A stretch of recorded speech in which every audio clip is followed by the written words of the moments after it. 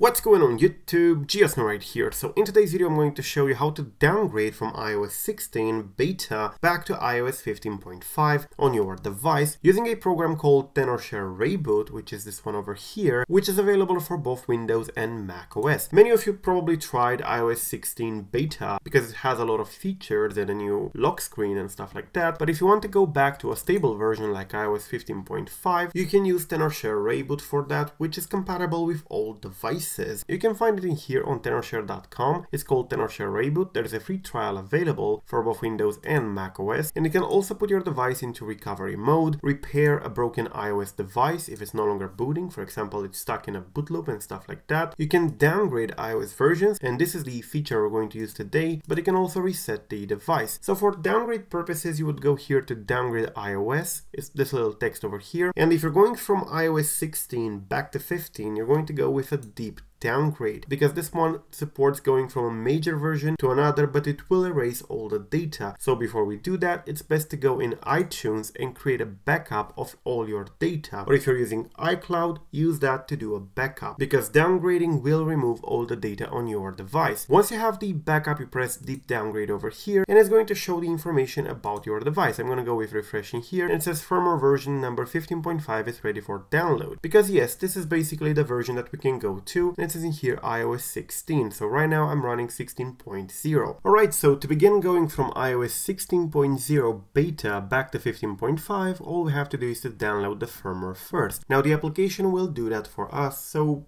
all you have to do is to not disconnect the device. I'm going to press downloading here and it's going to start downloading the firmware for my device. My device being the iPhone XS Max over here. So this download might take a while so I'm going to be right back once it completes downloading. So as you can see the iOS firmware has been downloaded and we can just press start deep downgrade right now. And it says in here you're about to perform cross version downgrade which will erase all the data on your device. Please confirm whether to continue downgrade. We press continue here and as you can see it says deep downgrading and it says is verifying over here. It's going to verify the firmware to ensure that it's not corrupted before downgrading it, but after that it's going to start installing the iOS 15.5 on this device. So as you can see here, the verification is going on pretty fine, and once this is complete and the downgrade will begin, it's going to actually restart the device. You may see the Apple logo and a progress bar, but that's perfectly normal. Just wait for your device to boot back to the hello screen and do not do anything. Do not disconnect your device and stuff like that. So at this point, we just have to wait for the downgrade to complete. You can see here it's basically unpacking the firmware, the different components of the firmware, and it's verifying the unpacked firmware, and after that it will begin installing the firmware. Alright, so as you can see it says downgrading the device, please wait, and the estimated time is about 10 minutes. Yes, this will take a while, so definitely be patient. I'm gonna be right back once it completes.